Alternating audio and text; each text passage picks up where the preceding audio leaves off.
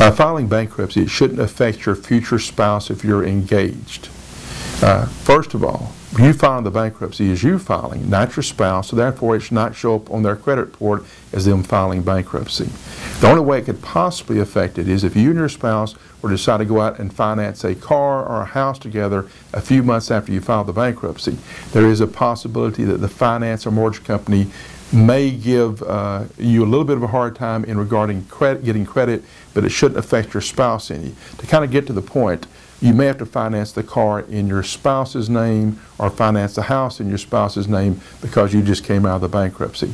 Generally speaking, though, uh, a couple years after you file the bankruptcy, your credit should be in pretty good shape, and it, of course, at that time, it surely would not affect your uh, spouse's credit in, in any way.